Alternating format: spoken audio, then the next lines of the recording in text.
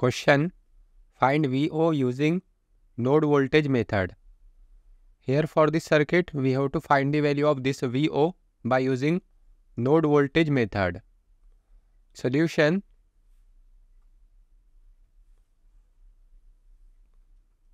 Let's assume this as a reference node or ground node. Now here we can see the voltage across this 2 ohm resistance is VO. And this VO and this 2 ohm is connected to ground. So this node voltage will be VO. Now since this is a reference node or ground node, we have to assume all the currents towards this reference node. So let's say this current is current I1 and this current is current I2. Now what we will do, we will apply KCL at node VO. So let's apply KCL at node VO.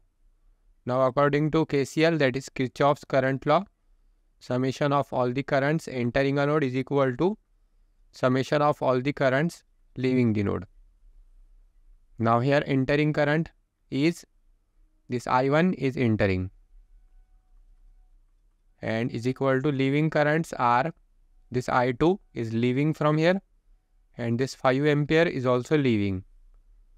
So I2 plus 5.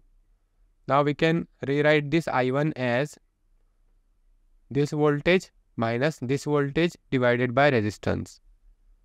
So 180 minus VO divided by resistance.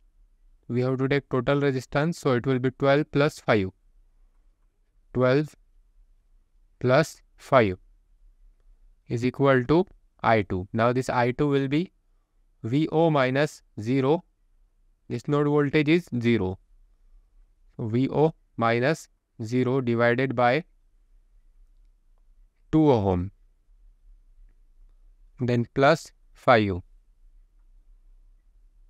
Now let's simplify this. So 180 divided by 180 divided by 17 minus VO divided by 17. Now if we take this on left side, so it will be minus VO divided by 2 is equal to 5. Now we can take this VO common.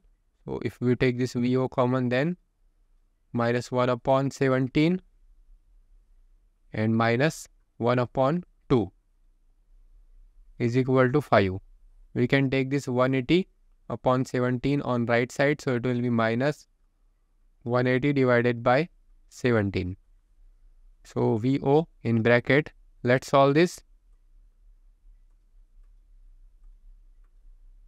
Minus 1 upon 17 minus 1 upon 2 minus 1 upon 17 minus 1 upon 2 so it is minus 19 upon 34 minus 19 upon 34 is equal to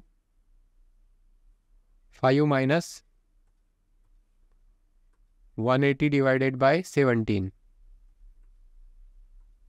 So it is minus 95 minus 95 divided by 17. Now we can take this on right side. So VO is equal to minus 95. This minus and this minus will get cancelled. So only 95 divided by 17 multiplied with now we have to take opposite of this that is 34 by 19.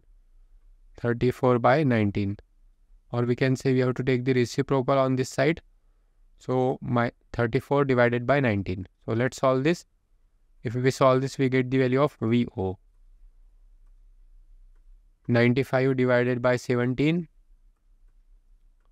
multiplied with 34 divided by 19. So it is equal to 10 and its unit will be volts because it is a voltage. So therefore VO is equal to 10 volt by using node voltage method or by using nodal analysis.